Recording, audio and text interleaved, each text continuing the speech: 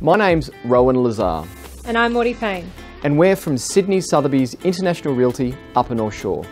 Welcome to 17 Lindsay Close, Pymble. This exceptional property is one of Pymble's few remaining park-like estates, situated in close proximity to Pymble Public School and Pymble Station, yet tucked away in a private enclave.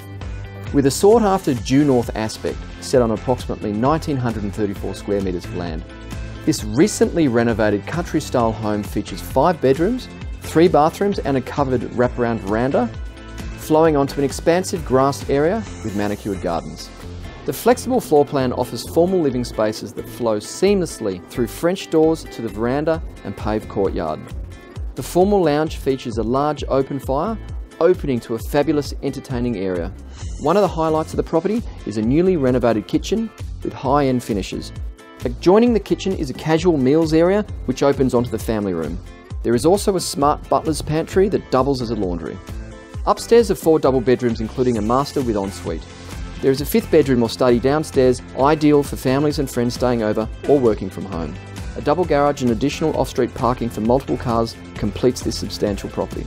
The property is a short, flat walk to Friars Field, Pymble's dog-friendly park. It's also only a short walk to buses that travel directly to St Ives Shopping Village, as well as Gordon and North Ryde. It's been our pleasure introducing to you this very unique property. Thanks for watching.